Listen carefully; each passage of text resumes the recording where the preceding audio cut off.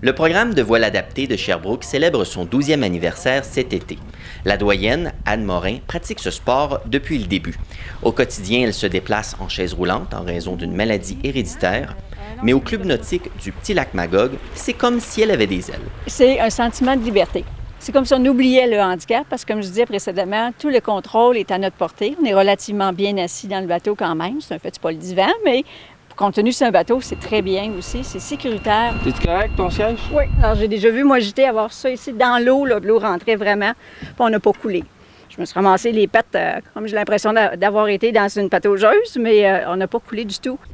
C'est ma deuxième saison de voile. Puis j'ai eu un coup de cœur pour la voile. C'est vraiment un très, très beau sport, avec une belle équipe ici. Je trouve que c'est un sport qui est très, très, très zen aussi. Euh, on a la chance d'avoir un, petit Martin 16 ici euh, qui fait qu'on se sent en sécurité. On a des bons moniteurs pour nous apprendre, qui nous respectent aussi avec euh, les limites qu'on a. Ma job, c'est de vérifier à ce que tout se passe bien, que si jamais il y a un malaise qui se produit, je peux venir prendre les commandes, que dans le fond, pour le gouvernement, moi, je viens tirer sur les cordes ici pour diriger. Si jamais il se passe quelque chose, donc si jamais il y a un malaise ou quoi que ce soit, je suis là pour aider. OK, bien là, ça, c'est le contrôle pour euh, le safran dans le, derrière le bateau qui permet de décider si on va à gauche ou à droite.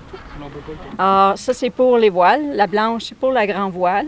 La rouge pour la petite. T'en viens habitué avec 12 ans, hein? Ouais, espère, là. Avec ça, tout ton titre de capitaine, c'est certain. Mais on a de plus en plus de personnes qui viennent, de plus en plus de groupes, des organismes euh, communautaires de personnes handicapées qui font une sortie avec euh, leurs membres. Quand on aura deux Martin 16, on va faire des petites courses. L'association a commencé à amasser des fonds pour faire l'acquisition d'un deuxième voilier. Pour l'instant, les membres ont récolté la moitié des 25 000 nécessaires. William Levasseur pour Estrie Plus à Sherbrooke.